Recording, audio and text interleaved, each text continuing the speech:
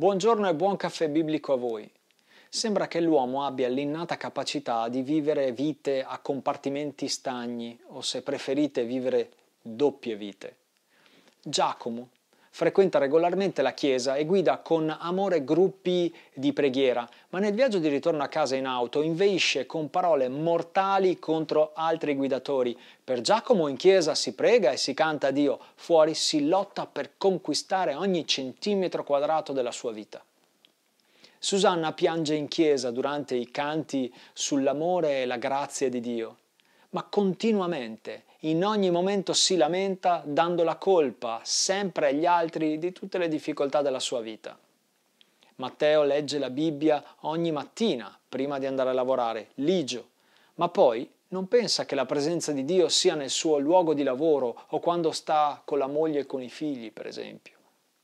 Marta adora organizzare gli incontri delle donne nella sua chiesa, ma poi a casa rimprovera suo marito ad ogni minima occasione per ciò che non hanno avrebbero potuto avere e per ciò che lui non sa fare bene.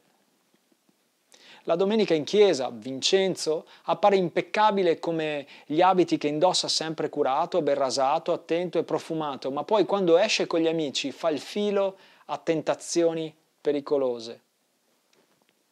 Rosa invece sbraita contro suo marito ogni giorno, rimproverandolo per le sue mancanze come guida spirituale della famiglia. Lui ne esce sempre frustrato e offeso. Lei sente di aver combattuto con coraggio nel nome di Dio. È sempre facile relegare Dio alle attività tipicamente cristiane e solo a certi ambiti della nostra vita. Vestiti con gli abiti buoni della domenica in chiesa, o con le mani giunte in preghiera, alzando le nostre voci, o quando leggiamo o agitiamo la Bibbia, costruiamo dei microcosmi popolati da Dio, lasciandolo invece fuori da altri mondi, sempre nostri, come se si potessero fare cose davanti a Dio e altre cose alle spalle di Dio. L'Apostolo Paolo usa parole definitive come queste. Sentite, vi esorto dunque, fratelli, per la misericordia di Dio, a presentare i vostri corpi in sacrificio vivente, santo, gradito a Dio.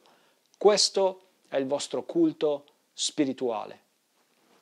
I nostri corpi, la nostra intera vita, ogni area del quotidiano sono offerti come sacrificio vivente, poiché non esiste un luogo fisico o un luogo spirituale, non esiste un momento temporale o figurativo in cui Dio non c'è.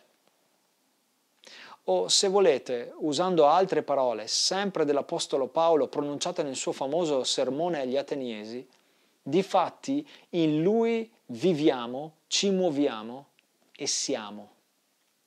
Stare con Dio è tutta la nostra vita, che lo riconosciamo o meno. Che Dio vi guidi in questo giorno e nei prossimi a vivere e a camminare consapevolmente con Lui. Dio vi benedica.